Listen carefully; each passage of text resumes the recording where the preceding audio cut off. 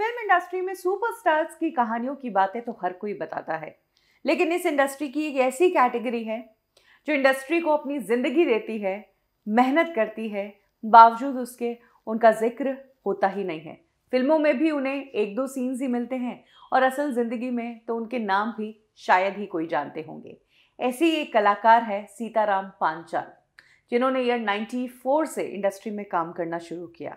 2017 तक वो इस इंडस्ट्री का हिस्सा रहे। आमिर खान से लेकर अक्षय कुमार जैसे सुपरस्टार्स के साथ भी उन्होंने काम किया, लेकिन पूरी ज़िंदगी इस इंडस्ट्री को देने के बावजूद उनका अंत बहुत दुखद हुआ और आर्थिक तंगी से जूझे। हालत ऐसी हुई कि एंड में दवाइयाँ खरीदने के भी पैसे नहीं रहे। आपको ये जानकर हैरानी होगी कि जिस एक्टर की मैं बात कर रही हूँ, वो कैमरा के सामने चाहे सीन छोटा हो परफॉर्म दमदार करते थे। क्योंकि वो एनएसडी से ग्रेजुएट थे। लेकिन ये इंडस्ट्री अब अलग तरह से चलती है। यहाँ पर लोग एक्टिंग को सलाम नहीं करते, लोग स्टारडम को सलाम करते हैं। यही कारण है कि जो लोग किरदार में जान फूक देते हैं, उनकी चर्चा कम होती है और जो लोग अच्छा डांस कर लेते हैं, अच्छी फाइटिंग कर लेते हैं और एक्सप्रेशन ठीक ठाक भी दे तो चलता है, बस सिक्स पैक ऐप बनाकर कुछ एक्शन सीन्स और कुछ डांस मूव्स कर ले, वो स्टार्स कहलाते हैं।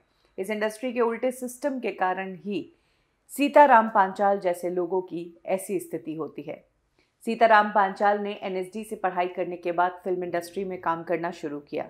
सबसे पहली फ़िल्म बैंडिट क्वीन थी। इस फ़िल्म में उनका रोल छोटा था, लेकिन उस छोटे रोल में उन्होंने जान फूक दी थी। पहली फ़िल्म से जो आदत लगी, वो आदत एंड तक चली।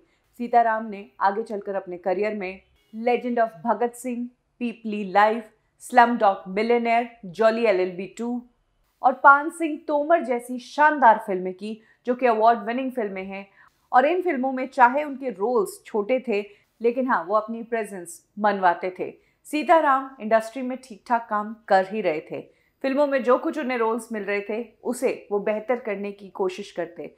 लेकिन 2014 में सीताराम को अपनी ज़िंदगी से जुड़ी एक ऐसी बात पता चली, जिसके बाद वो टूटते चले गए और उनकी जान चली गई। 2014 में सीताराम पांचाल को पता चला कि उन्हें लंग रिलेटेड कैंसर है और उनकी हालत ख़राब होने लगी। उनका वेट बहुत कम होने लगा।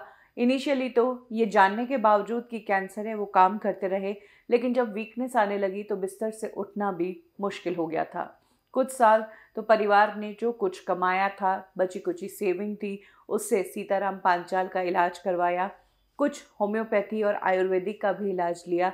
लेकिन बाद में एक टाइम ऐसा आया, जब सीताराम पांचाल बेड रिडन थे, इतने कमज़ोर हो गए कि बिस्तर से भी नहीं उठ पा रहे थे और उनकी दवाइयाँ लाना तो दूर, घर चलाना ही मुश्किल हो रहा था।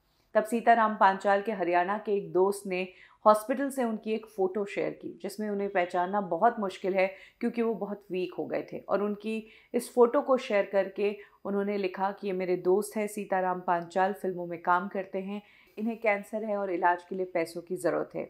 कुछ ही दिनों बाद सीताराम पांचाल के परिवार वालों ने उनके फेसबुक से भी सेम पोस्ट डाली, जिसमें कहा कि हेलो भाइयों, मेरी हेल्प करो, मेरी कैंसर से हालत ख़राब होती जा रही है आपका कलाकार भाई सीताराम पांचाल। इस पोस्ट के बाद ही ये खबर मीडिया में आई। फ़िल्म एसोसिएशन सिंटा एक्टिव हुआ और उन्होंने भी अपने सोशल मीडिया हैंडल से इस खबर को शेयर करते हुए लोगों से मदद मांगी। सीताराम पांचाल के बैंक अकाउंट्स के डिटेल्स भी शेयर किए गए और उनके लिए क्राउड फंडिंग जुटानी शुरू की। इधर हरियाणा गवर्नमेंट ने भी सीताराम पांचाल के इलाज के लिए पाँच लाख रुपए का डोनेशन दिया। साथ ही लोगों से एक लाख रुपया इकट्ठा हो पाया, जिससे उनका इलाज करवाया गया, लेकिन उनकी हालत इतनी ख़राब कि ये इलाज भी उन्हें बचा नहीं पाया।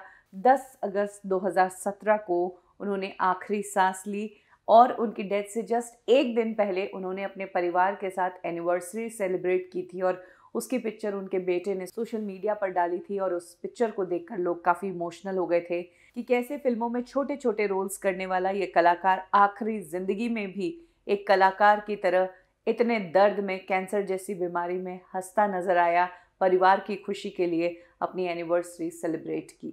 यह है कहानी इंडस्ट्री के उस कलाकार की, जिसने इंडस्ट्री में एक लंबा दौर देखा, कई सारी फ़िल्मों में छोटे छोटे रोल्स किए लेकिन इन छोटे रोल्स से उन्होंने हमारी फ़िल्म इंडस्ट्री को एक बड़ा योगदान दिया है। अब वक्त है कि हम इंडस्ट्री में इन एक्टर्स के बारे में भी बात करें, क्योंकि स्टार्स तो अपने लिए काम ढूंढ लेते हैं। फ़िल्में नहीं तो इन्हें ब्रांड एंडोर्समेंट्स और इवेंट्स मिल ही जाते हैं। लेकिन साइड एक्टर्स और सपोर्टिंग रोल्स का क्या? जब इन्हें फ़िल्मों में लिया जाता है, तब इन्हें कहा जाता है कि आप हमारी फ़िल्म का पिलर है, हमारी फ़िल्म की नींव है। तो इस नींव के बारे में कोई बात क्यों नहीं करता है? ज़रूरी है कि मीडिया इन एक्टर्स को भी कवर करे।